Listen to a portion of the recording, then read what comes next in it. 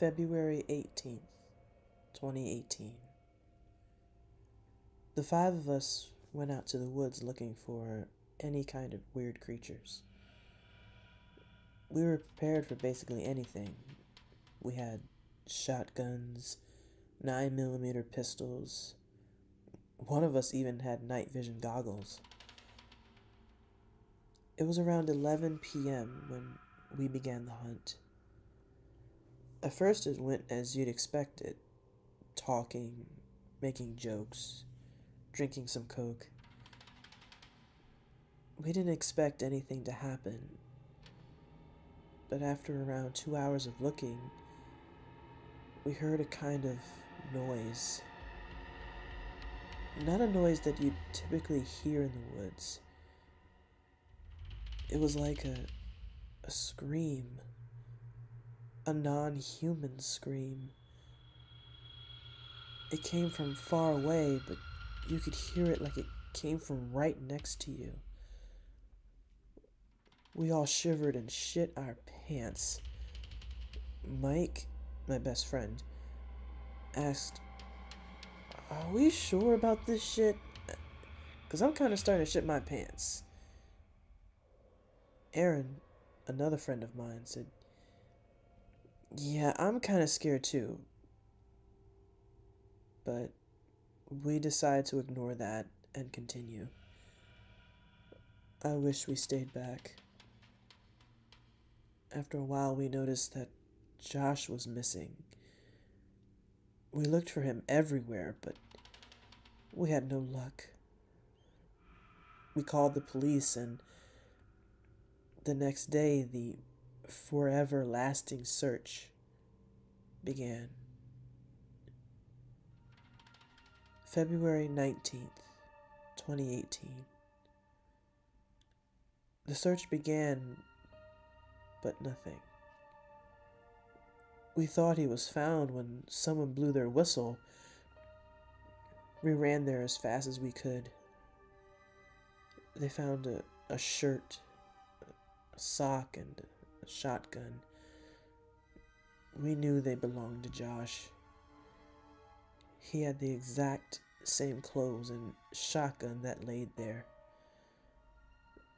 We feared the worst. But after three months of searching, nothing was found.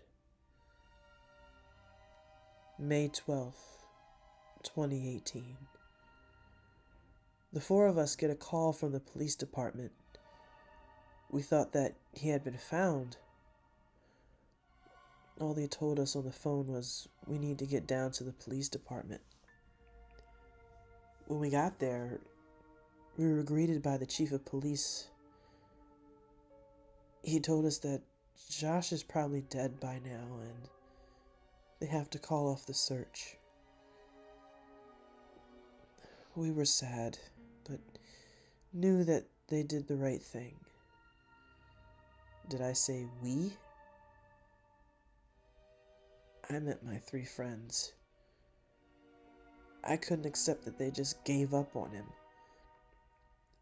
So I wanted to search for him by myself. January 15th, 2023. For the past several years, I've been saving up my money for equipment. I brought a fully automatic rifle, a sniper rifle, night vision goggles, body armor, anything you can imagine. I went out to those woods looking for Josh. After about 30 minutes of searching, I heard that same scream that I did five years ago. I went towards it. All of a sudden, I saw a head pop out from behind a tree. I didn't even hesitate to shoot at it. At least one bullet must have hit it because it let out a scream and ran away. That same scream. I was shocked but followed it, and what I saw next shook me for life. I didn't have to follow it for long, only for four to five minutes. It walked, jumped down from a tree while holding something. then I realized it was Josh. It was holding Josh. At least what remained of him. It threw him at me and ran away. I took a look at Josh's body. He was covered in blood.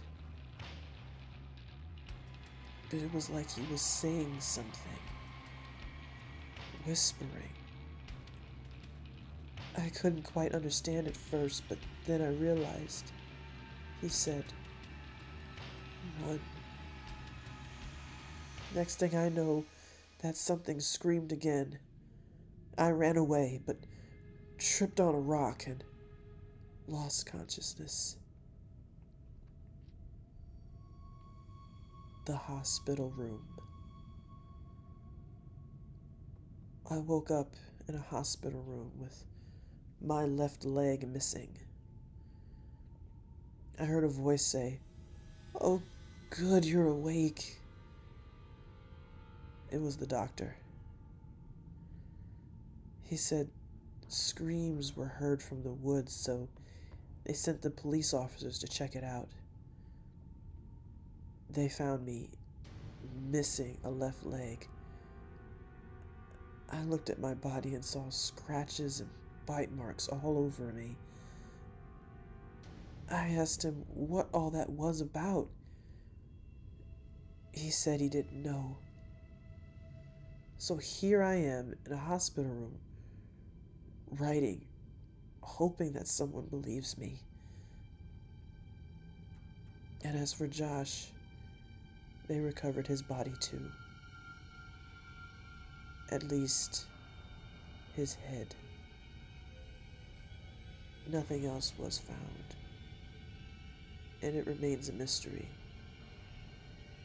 That was that thing that killed Josh? And almost killed me?